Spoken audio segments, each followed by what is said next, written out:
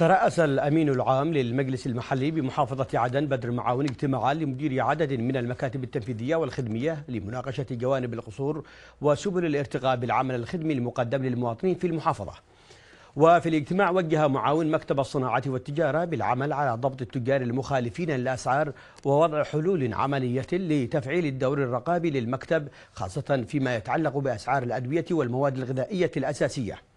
كما وجه مكتب الهيئة العامة للآثار والمتاحف والمدن التاريخية برفع تقرير مفصل عن المخالفات والاستحداثات داخل حرم المعالم الأثرية بمدينة عدن. وفي الجانب التربوي والتعليمي أيضا أكد معاون على ضرورة تفعيل التدوير الوظيفي بين مديري مكتب التربية في المديريات وتعزيز مبدأ الثواب والعقاب في سلك التربية والتعليم.